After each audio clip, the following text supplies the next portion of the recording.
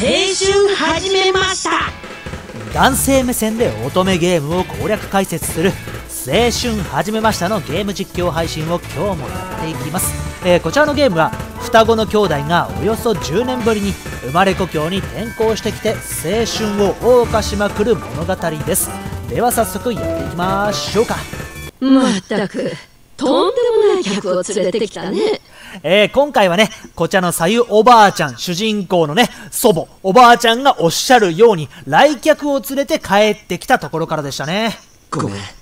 えー、こちらの王子くんというのがね、えー、この攻略対象のキャラクターになるんですが、この彼だけではなく、失踪してたお兄ちゃんまで連れてきちゃいました。ごめんなさい。謝る必要はないわ。それにしてもあんた、本当に帝なの？まあこの町ではもう有名なんでしょうね。失踪したお兄ちゃんってことでね。帝だよ。正真正銘の三能と帝。忘れたのか？まあね、これでね、ご自宅、ご実家の方では居場所がなかったために話し合いの場としてうちに来たらっていうことで連れて帰ってきたんだけれども、まあここでね、どういう話し合いが繰り広げられるのかっていうのが注目のポイントです。そんなこと言われてもね、そんな心もとない笑顔を浮かべている子が街で評判の寿司屋の跡取りだったなんて思えないわ。うんまあ実際どういうね真意があって失踪したのかって話は聞いていきたいですね。笑い事じゃないよ。一体どこで何をしてたんだ？そうね。まあいろいろと。ごまかすね。とりあえず今は店で親父にぶん殴られてた。うん。まあそういう心境だから笑顔が引きつってたよっていうことね。ひどいんだぜ。顔見せようと店を覗いた途端ガーンって。まあ突然いなくなった方もいなくなった方ですけれども。あれだけのことをしていれば当然だよ。この親不孝者。うん。なんか事情をちゃんと話せばまたね変わったかもしれないけどどうなんでしょうね。ああ。そうだよなうんまあその辺は冷静だね。どうして戻ってきたんだ？こっちには状況がさっぱりだ。そうだね。ちゃんと全部説明しなさい。うん結構厳しく正していくねさよおばあちゃんは。帝そうだ。な王子にもそろそろちゃんと説明しないと。なうんそうだね。王子くんもねその事情を知らされていなかったからまあもうお父さんのね寿司屋を継ぐしかないのかって宿命に駆られてたわけだからいろいろ知りたいね。もったいぶるなよ。分かったよ。実はさ俺高校の時から寿司屋になるための徹底教育を受けてきただろ。うんそうだったね。親父のことは本当に尊敬してたから。親父についていけば一流の職人になれるって信じてた。うん。過去形なんだね。いやもちろん今でも親父は一流だと思ってるよ。うん。だけどいろいろと心境が変わったんだ。ほう。心境？修行の一環で漁師や寿司組合の人たちと話すようになった頃から。あーなるほど。外の世界も見てみたくなったってこと？三能堂寿司の中のことしか知らない自分の視野の狭さに疑問を持つようになったんだ。うんうんうんてかそういうプロセスちゃんとお父さんに言えば伝わったんじゃないのっていう感じもしますけどね。そうしたらだんだん不安になってきた。うん。このままじゃ俺は親父の店を継ぐことはできても続けることはできないんじゃないかって。ああはあはあ結局ね将来性とかを思うとってことね。俺は三能堂寿司を末永く続く店にしたいんだよ。うん。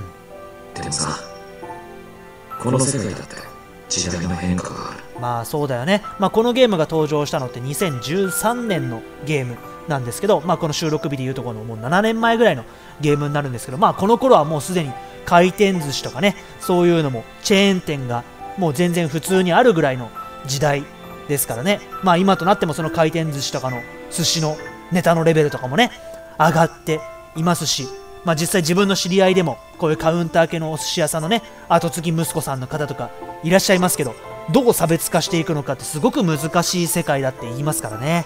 親父が今までやってきただけの方法じゃ対処できないようなことがこれから先きっとたくさん起こると思う。いやー本当にそうだと思いますよ。親父がずっと守ってきた店を守り続けたい。だから。うん。だから俺は組合仲間に頼んで都内にある老舗の寿司屋で勉強することにしたんだ。なるほど。まあここだとね田舎町ですから、まあ、もっと一番、まあ、日本の中では進んでいる、まあ、東京都内で学ぶっていう選択肢を選んだんだね。その意思を親父に話したんだけどうまく伝わらなくてさ。あ話したんだ。話したのに伝わらなかったんだ。大将の激励に触れたってことかい？そっか。まあ確かにね対象サイドの話しか聞いていなかったから急にいなくなったみたいな話としか捉えられていなかったけどまあこうやって両側の話を聞いてみると話の見え方変わってきますね。ああ。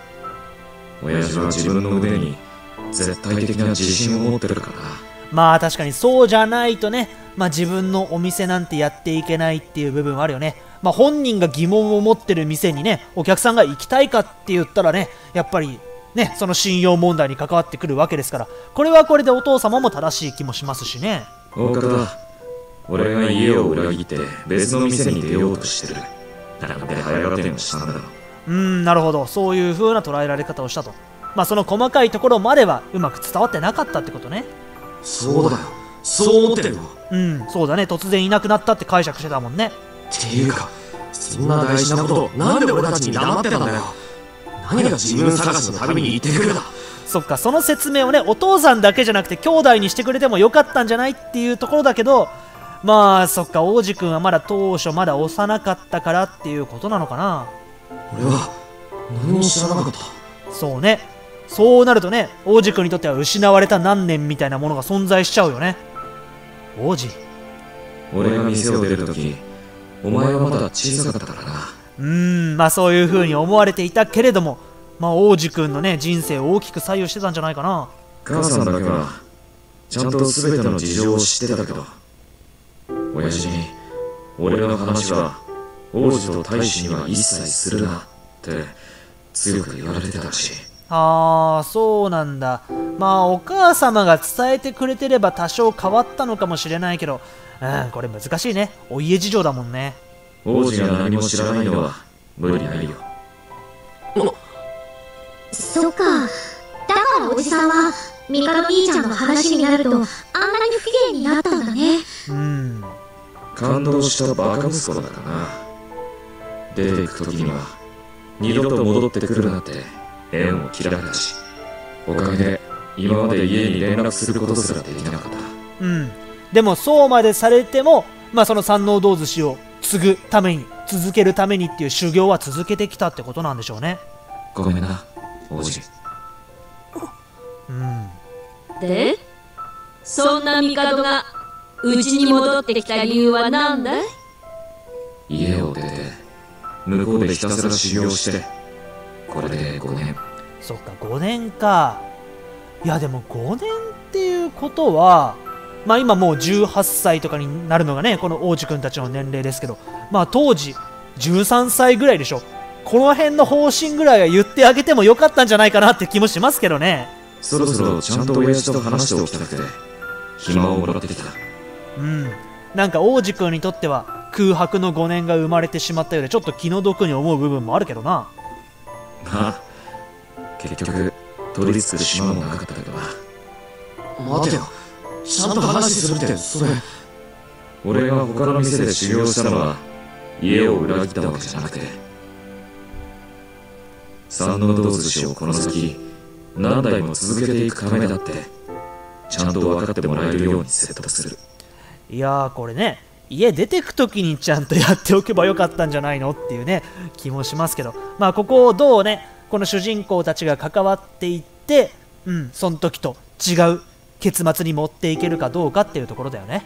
そのために帰ってきた。じゃあ家は兄貴が継ぐのか。いや王子くんとしてもね将来のプランとか計画とかもうまるっきり変わっちゃうもんね。だってもう進学する気なくってっていう状態に王子くんはなってたからなんか王子くんの気の毒さがどんどん浮き彫りになっているけど。あ。美談の裏側で。俺は昔からずっと三の銅寿司を継ぐことしか考えてないよ。親父に話を聞いてもらえるまで諦めない。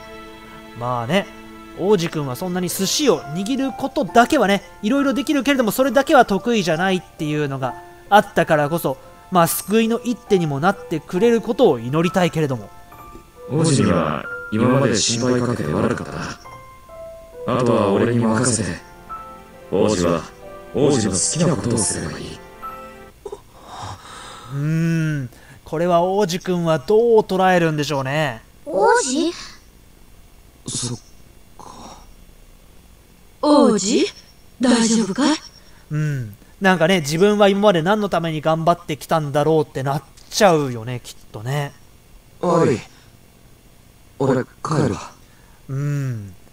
いやーでも王子くんは優しいからそのことも誰にも文句を言わなくってそれこそお母様が心配してたその背負い込んでしまうっていう側面が見えてるかもしれませんねこれは。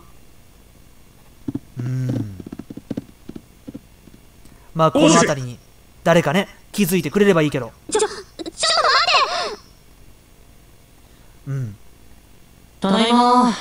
あそっかそっか。ここね一応あの自宅ではあるんですけれども、まあ、おばあちゃんがもともと下宿民宿を、まあ、開いていたっていう流れでね、まあ、下宿先として、まあ、このね、まあ、真ん中は弟くんですけれども、まあ、隣のハイジ君そしてね、まあ、隣が先生というような感じなんですけれども、まあ、この人たちも同じ家に下宿しています。なのでただいまと帰ってきました。はあただいま。いやーこのねのんびりした雰囲気と慌ただしい雰囲気のギャップが。ただいま。今日の晩ご飯は何かしら？いやーギャップがありますねこの温度差。うん。なんで王子くんが出てくるんだってねなりますよねあれ？王子来てたの？あー王子くんがね普段見せない姿がちょっとねうん大抵こういう時はね明るく声をかけるっていうのが王子くんの姿だけどその本来のねよく見かけるおね王子くんの姿が見られないっていうね違和感はあるでしょどうしたんだろう？うん。うずいぶんと思い詰めた顔をしてたけどそうね。まあね、この先生は、うん、担任の先生でもあり、青春部の顧問でもあるからね、うん、距離の近い先生だし、相談に乗ってもらうことになりそうだけどね、今後。王子ちょっと待てよ姉ちゃん？うん。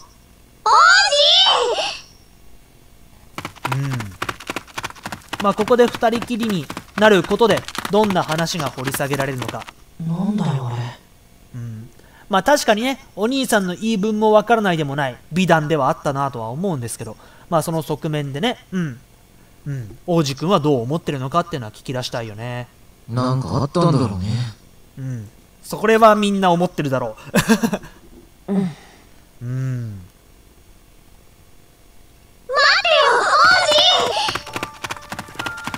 うん。待てやっと捕まなんだよ一体俺って何なんだよいやー、やっぱりね、そうだよね。何のために頑張ってきたんだろうってなっちゃうよね。え？三濃度1の有能な跡取りがいきなりいなくなったのいいから家の中がゴタゴタしだしてうん。親父と母さんの辛そうな顔を見るたび俺が何とかしなきゃって思ってていやー、それで努力してきて、やっとね、積み上げてきた頃に、そのお兄さんが戻ってきてしまったらっていうね、自分の頑張りなんだったのってなっちゃうよね。そしたら親父が「お前が告げろ」とか言い出してそれで収まるんだなって俺がやるしかねえんだってそう腹をくくったんだいやー、そうだよね。この腹をくくってるからこそ、この大人っぽい雰囲気が王子くんからは出てたわけだもんね。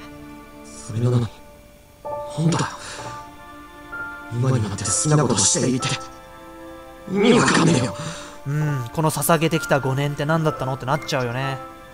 王子。あー。いや、これは、本当だねは、誤解して捉えられちゃいそうな気がするけどな。どうなんでしょうね。うん。俺って何なのだろうに対してでしょうん何もかけられる言葉がないっていうのが本音かな。まあ本当だねが違うからっていうね消去法的な選択肢かなこれは。うんてんてんてんと。話をもうちょっと聞いてみましょう。私は王子に何て言ったらいいんだろう。俺いきなりこんなこと話されてもお前も困るよ。うんまあでも本当だねは違っただろうなとは思いますけどね。王子くんはねまあ王子くんなりにというか、うん、スキルはそれでも高まっていたわけだからね。ここで得た経験っていうな何か違うものにね活かせればうんあくまでね今までのは過程プロセスだったわけですからそれをどういう結果に結びつけるかっていうところにアプローチしていきたいかな。ごめんうん。とりあえず俺家に戻るわ。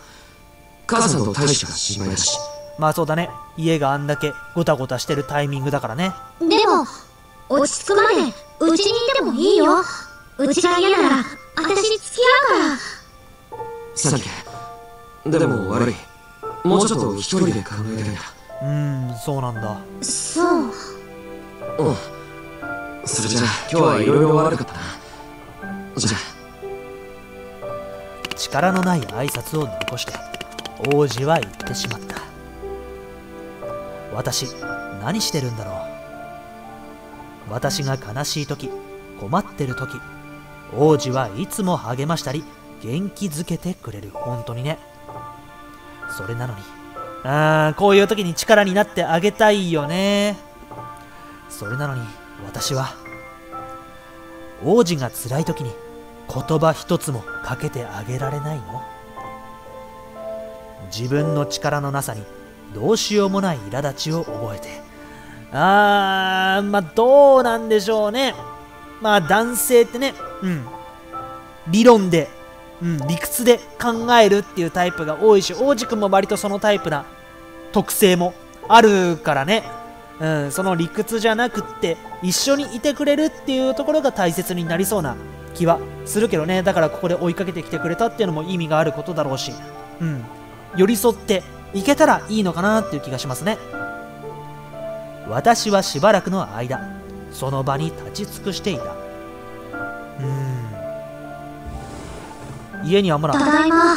帝お兄さんはいるのかな？千歳かいおかえり。あれ？ミカド兄ちゃんは？あどうしたんでしょうね。トーマンが送ってったよ。あいつがいれば大将もいきなり殴りかかることはないだろうからねああじゃあそのちゃんとご家族に話すっていうプランは実行するわけだねそっか。そうだね。それで王子はどうだった？あそういえばちなみにねその送ってってくれた東丸さんっていうのがあの叔父に当たる主人公たちにとっては叔父に当たる存在の方ですね、まあ、同じくここに住んでる方ですうん。少し一人で考えたいって。王子、すごく混乱してるみたいだった。でも私、何も言ってあげられなかった。うんさゆおばあちゃんはどういうアドバイスをしてくれるんでしょうね。そう。うん。それでいいさ。今は一人にしておやり。あーいいね。でもこういう風に落ち着いた客観的な目線で相談に乗ってくれる人がいるのは大きいかもね。じっくり一人で考え終わったらきっと王子は友達に助けを求めるはずだからね。うんそうなってくれることを祈りたいね。自分の中で抱え込んじゃうからね。それをさらけ出してくれることを祈りましょう。そしたらその時にちゃんと王子を支えてあげればいいのさ。そうねでも支えてほしいっていう時に支えてあげるっていうのがまあ確かにニーズともマッチしてていいのかもしれませんね。だからあんたはいつ王子が来てもいいようにしっかりと笑って待っていてやりな。いやーいいこと言いますね。笑って、待つ？それだけでいいの？うん居場所を提供してあげるのが重要なのかもね。まあ今抱えてるのはね王子くんのこの今までの5年間の頑張りって何？自分の居場所ってどこなのっていうところだから。うんその居場所を作ってあげるっていうのはポイントになりそうだね。そうだよ。あんたの笑顔は見る人を明るい気持ちにしてくれる。それだけの価値があるんだから。いやこれはね親バカというか祖母バカとかそういうわけではなくうん本当にそうだと思いますしそういうのをね良さをちゃんと見てくれててそして伝えてくれるっていいおばあちゃんですね。見る人を明るい気持ちに？そんな力本当に私にあるのかな？まあ特に王子くんにとってはそういう存在になれるようにっていうことじゃないかなこれは。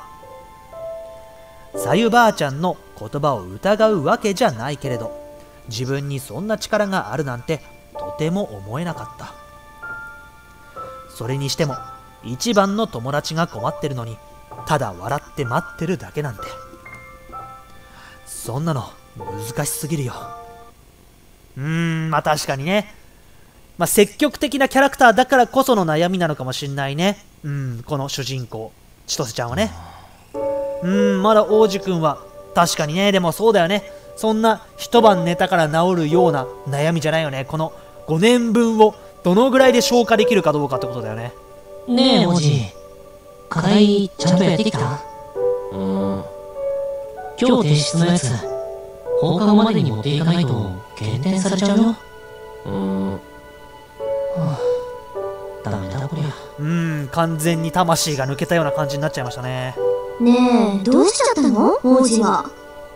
ここ最近ずっとあんなんだよね。王子くんがああなっちゃったのって帝お兄ちゃんが帰ってきてからなんでしょ？まあ雪彦くんもね長年ずっとねうん王子くんと連れ添ってるからこそ見える部分はあるでしょうけどさすが勘が鋭いね。王子の兄貴が絡んでるとなるとそれただ事じゃねえな。うん。さすが幼馴染メンバーだね。双葉さんが何か知ってるんだよね。それは。何があったの？話しなさいよ、千歳。どうせ千歳だって、どうしていいかわかんなくて持て余してんでしょ？見透かされてますね。でもこうやってここで友達と共有しておくことでうん。王子くんの居場所をねみんなで作ってあげるっていう流れに持っていけるんじゃないかな私たちでよかったら協力するよ。うんまあね人の話をね勝手に話すっていうのもなんかプライバシーを侵害しているような感じもしますけどでもなんかそういうことじゃない気がするねでも、王子の前じゃ、ちょっと。じゃあ場所変えるかうんひとまず屋上に行こうかあ部室じゃないんだね私、特進科クラスのみんなも呼んでくるね。うんじゃあ、くるわ。ああこれでちゃんと青春部の部員が全員揃うようにしてくれるってことね。そして屋上へね。えー屋上に集まってくれたみんなに私は王子が元気のない理由を説明した。ってわけなの？うんみんなの知恵を借りましょそれはまたなんというか。ううん。なんかホームドラマみたいな話だねまあこのハイジ君がねそういう風に言ってるのは茶化してるわけじゃなくてまあもともと芸能活動をしてて芸能活動を休止してこの田舎に転校してきてるっていうキャラクターだからまあこういう表現をしてるわけですよね。どうりで最近張り合いなくおとなしいと思ったんだ。うんみんなそれぞれの捉え方がありますね。三能度が静かだと学年全体が静かに感じる。不思議なものだな。うん。普段があれだしね。余計変な感じがする。うん帝お兄ちゃんお寿司屋さん継ぐんだねまあでもねこの時点でみんなが違和感感じてる時点で王子くんの居場所っていうのとか役割だとかポジションっていうのはちゃんとあるんだよってことなんだけどねまあそれをどうやって伝えるかだよねうん。それで王子が混乱しちゃったみたいで。そっか。佐野堂くん、心配だね。ねえ僕たちで王子くんを元気づけてあげようよ。いやさすが親友だね。うん。そうね。こいちゃんあたりで励まし会でもする？うん、なんかパンチが弱い気がしますね。それがいいかもしれないね。わっと騒げばスッキリするかもしれない。なんかその励まし会も何かプラスアルファがあった方がいいような気はするけどどうなんでしょうね。なんか考えがあるのかな。よしそれなら任せろ俺様が一肌脱いでスペシャルな催しを。ちょ、ちょっと待って。なんだよ双葉ね。さゆばあちゃんは、しばらく一人にさせてやれって言ってたんだ。だから、私もそうしようって思ってるの。うんうんうん。僕もなんかその千歳ちゃん側の意見だったかな。なんかちょっと違うなぁとは思いましたね。少しだけでいいから王子に考える時間をあげて。ねお願い。うん。姉ちゃんまあそれも一理あるなそうだね。一人で考える時間も大事だし、その方がいいかもしれない。だな。まあねそれぞれねみんな一人一人自分もね悩み事とか抱えるような世代だったりするからだからこそ共感を生んでるのかもしれませんね千歳はそれで大丈夫なのね？うんそうかじゃあこいつの意見を尊重しようあこれでチャイムが鳴ったので教室に戻るってことか。まあ話はなんとなくまとまりましたかね。予令だよ。じゃあ王子のことは千歳に一にそれでいいよね。いいなし。ありがとうみんな。やれやれ。王子のやつ手間かけさせやがって。うん。いやでもこのね考える時間を与える。そしてねまあ居場所をどうやってうん作るというか示してあげるというかねうんそれを方法を考えておきたいよね。それじゃあ、そういうことで。そろそろ戻ろうか。だから王子くんが一人で考えてる間に考えることは僕らでもできるんじゃないかなってことだよね。そうね。大丈夫。千歳ちゃん。ああちゃんと雪彦くんは見えてますね。あゆきちゃん。うん。大丈夫だよ実は一番全体が見えてるのはこの雪彦くんだったりしますからねキャラクター的にも。無理して笑わなくていいよ。不安だって顔に書いてあるもん。うん優しいね。ほんとほんと。大丈夫？ゆきちゃんさっきはあんなこと言ったけど本当は不安なの。だってあんな顔した王子見たことないから千歳ちゃん。さぎばあちゃんが待ってろって言ったから待ってるけど。うん。まあね。具体策がまだ何も見えてないからね。本当はどうしたらいいかわからないってだけなの。心の中はすっごくすっごく不安でいっぱいなの。ゆきちゃん私どうしよう。そっか。でもねきっと王子くんは最後には千歳ちゃんに助けを求めると思うんだ。うん。だって昔から王子くんと一番波長が合うのは千歳ちゃんだったも。んああこれ王子くんの親友から見てねこういうお墨付きをもらえるっていうのはいいことだね。みんなで遊ぶときあっという間にどこかに走っていっちゃう王子くんに最後までついていけたのはうんまあそれは雪彦くんの体力的な問題もあったんじゃないかなっていう気もしますけど。いつだって千歳ちゃんだけだったからね。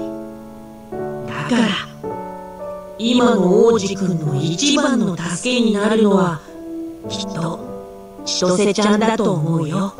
あーでもなんだろう。こういう風に雪彦くんが支えてくれるように王子くんのことも支えてあげられたら理想だね。そうそうだよ。まあ、かといってね雪彦くんは別にこの主人公に対して下心があるっていうキャラクターでもないんですけどうんそんな気がしますね。